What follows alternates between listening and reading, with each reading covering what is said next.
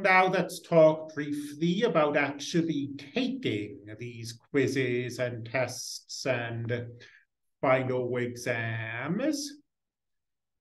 All of these are found in the modules. They're located in what I hope are natural locations. So the section quizzes are in the section module. So section 1.1, the quizzes at the end.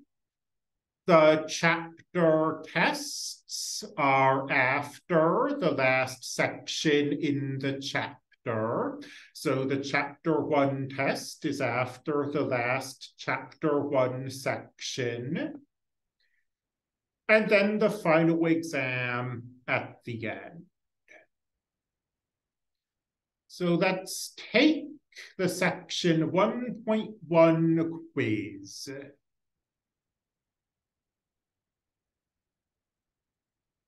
We see any introductory remarks I have.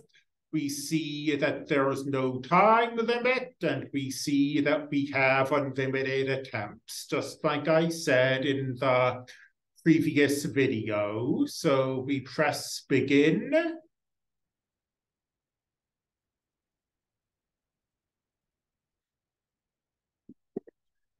And we can see all of the questions. I'm not going to take this in front of you. I'm going to pause the video. Um, before I do that, you see a little calculator icon up here.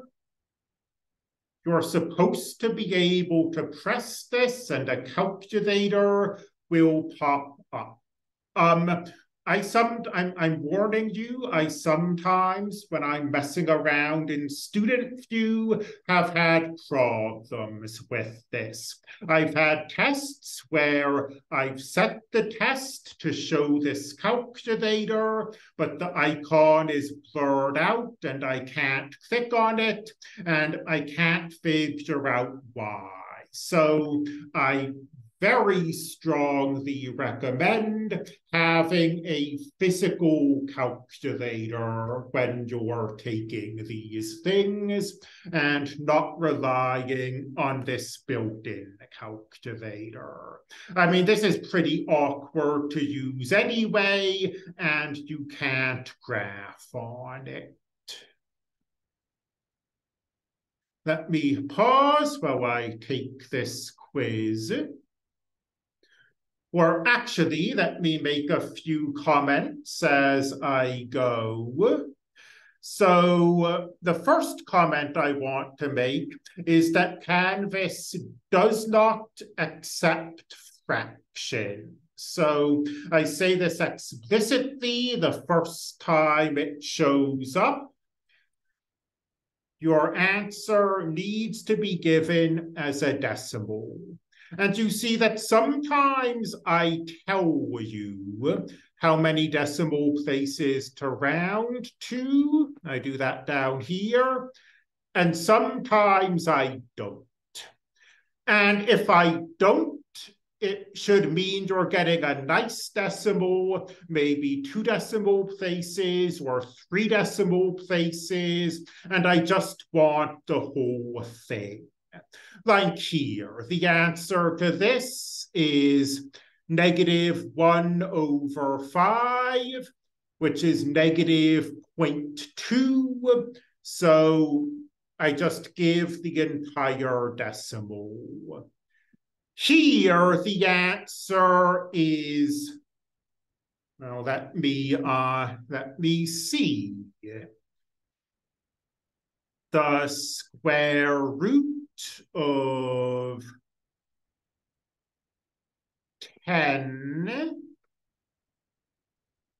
plus 4, press enter, and you see we get some ugly lengthy decimal. And so I tell you how many decimal places I want this rounded to.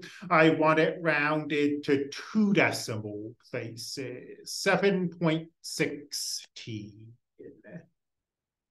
And now I really will pause this. Okay, so I've given numerical answers where asked for and selected multiple choice answers where I was asked to do that. And now let's submit this quiz. And I got nine out of 10. And um, that was intentional. I made a rounding error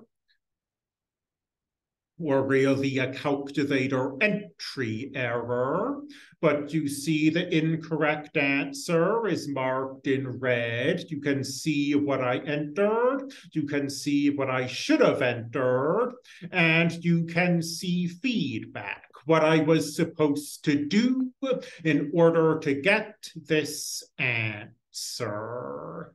Um, that feedback is provided for correct answers as well. Just if you're studying an old quiz and you don't remember how you got something, or it's a multiple choice question and you didn't know the answer and you guessed and you guessed right, but you still want to see where that correct answer came from, you can always see your feedback.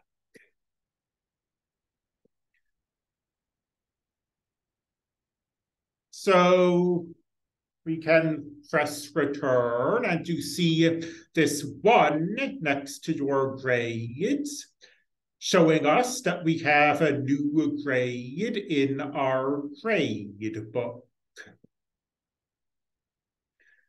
And um, if we want to retake this quiz, if we go to our grade book and we um, click that link, we get taken back to here. How we did, um, how long we took, all of the feedback, the question we got wrong, and then to retake the quiz, we we take it again. We can we can do that from here. Press take now. Press begin.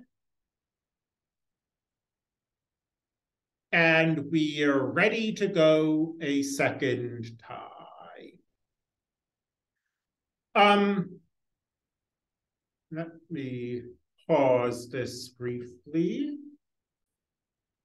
Say that we start a quiz and then we realize that we have absolutely no idea what we're doing.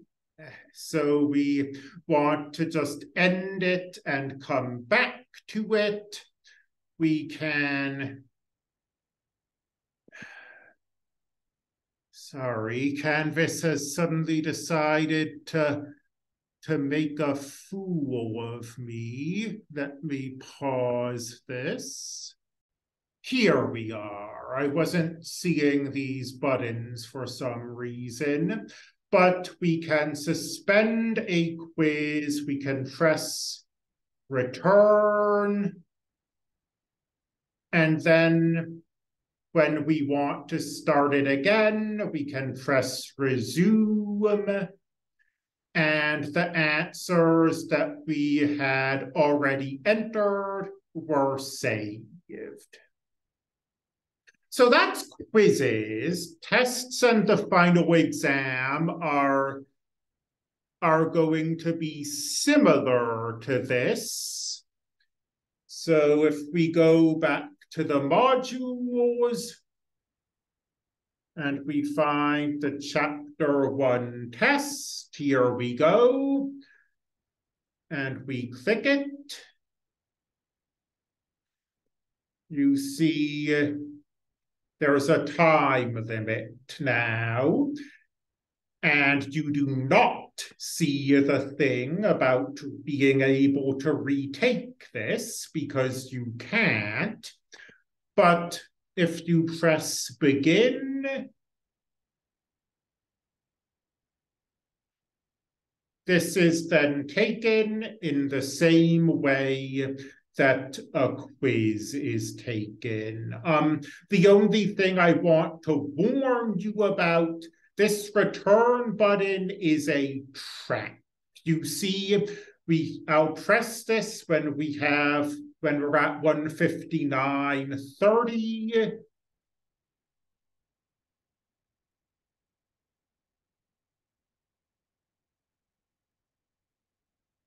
So the trap is that it looks as if this test has been suspended, but it hasn't been. That two hour timer is still running. If we press the resume button,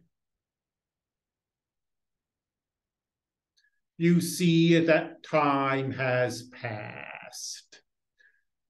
But otherwise, we take this test just like we took the quiz. Let me, uh, I'm going to just um, put some answers here at random for time reasons. Let me still pause this. Okay, I've just answered zero for everything and selected at random on the multiple choice. So don't don't take your tests like I just took this one, but we submit it in the same way. And it's graded. And you see we got whatever grade we got. Uh, just putting zero for everything did not turn out super well for us. But just like with the quizzes, we can see feedback for all of the test problems, whether we got them right or wrong. And if we return, this test is now in our grade book. Let's see. Somewhere. Ah, up here. So we can see what grade we got. If we click on this, we can once again look at here's here are all the problems, here's what we got right, here's what we got wrong, here's the feedback. You don't see the retake the test um, option because you um, can only submit tests once. And, and then the final exam is just like this. Press the button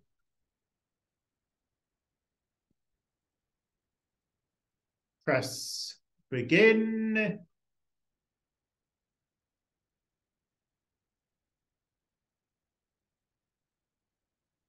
Come on. And here we go. So that's um, that's how you take the quizzes, tests, and final. Um, as a, Quizzes are 50% of your grade. The tests taken all together are 30%, and the final exam is 20%.